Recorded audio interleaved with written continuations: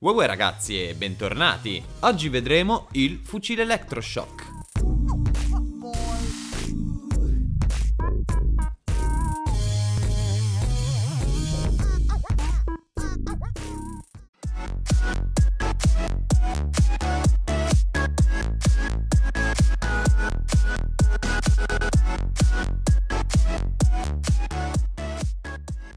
Fucile d'assalto spara colpi energetici molto precisi a cadenza moderata con elevati danni prolungati, infligge danni energetici e risulta mediamente efficace contro tutti i nemici elementali. Questo pacchetto è disponibile semplicemente nel negozio tra le offerte a tempo al costo di 16 euro e se non avete ancora Salva al Mondo comprenderà anche questa modalità. Quindi che stai aspettando? E mi raccomando se deciderai di comprarlo, prova a pensare al fatto di utilizzare il codice KinoTV nell'item shop di Fortnite. Mi raccomando, è gratuito. Il pacchetto comprende anche l'eroe potenza che come vantaggio comandante incrementa il raggio di onda d'urto del 112% e del 37% come bonus standard, però in questo video vado semplicemente a sostituire la skin di mazza con quella dell'eroe nuovo, così abbiamo modo sì di vedere la skin, ma comunque di vedere anche l'arma per quello che è veramente. La prima cosa che voglio farvi notare, quindi per non obbligarvi all'acquisto, state tranquilli, sono entrambi delle reskin. Ciò cosa significa? Significa che sono semplicemente delle armi o degli eroi identici ad altre armi o appunto eroi già presenti nel gioco.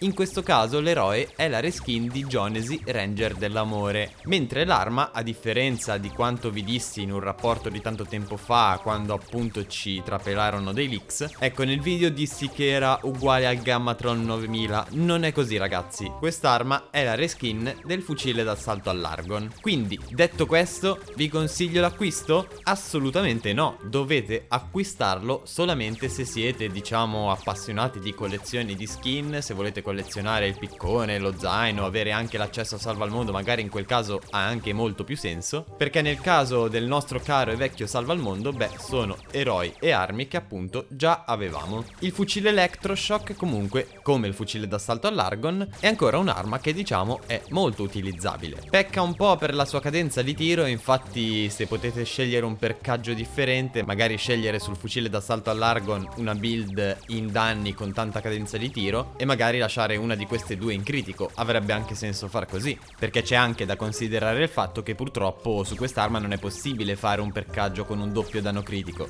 ce ne dovremmo far bastare soltanto uno e una perk di livello. In sé purtroppo è un'arma veramente molto molto semplice e diciamo anche limitata in certi aspetti perché appunto avendo una cadenza di tiro così lenta, solo 30 colpi, un danno che sì non è il massimo, non è neanche troppo malvagio, diciamo che è nella media, è un'arma che diciamo è abbastanza versatile in più contesti, possiamo utilizzarla contro uno smasher, comunque non sarà al top come molte altre armi. Possiamo utilizzarla con tanti abietti di gruppo. Beh, oddio, anche lì siamo molto molto limitati. Vedrete bene dalla clip della Storm Chest E siamo anche obbligati a tenerla come fucile d'assalto all'Argon Purtroppo solamente ad energia. È una reskin e quindi ha le stesse statistiche. Entrambe possono essere percate soltanto ad energia. L'unica differenza è appunto l'ultima perk. In questo caso il fucile Electroshock si presenta con una perk di tormento. Quindi possiamo dire che è un altro motivo per evitare l'acquisto, no? In conto se avesse una sesta perk speciale rispetto a tutte le altre armi, ma sappiamo che non è così, quindi state tranquilli. Per quanto riguarda l'eroe, invece ragazzi non c'è molto da dire, lo abbiamo già visto in passato tantissime volte, anche quando reworkarono gli eroi per esempio, e anche Jonesy Ranger dell'amore diciamo che non è una build che mi piace particolarmente. Se andiamo a sviluppare una build appunto incentrata su quest'ultima abilità, beh, nella build lo andiamo a mettere quasi sicuramente sicuramente, ma già è difficile che comunque scendo in campo con una build incentrata sull'onda d'urto. Se proprio lo faccio andrei a mettere comunque come primario quello che diminuisce la cooldown e a mettere appunto queste perk qua nelle build. Quindi è trascurabile sì a meno che non vogliamo appunto fare una build sull'onda d'urto.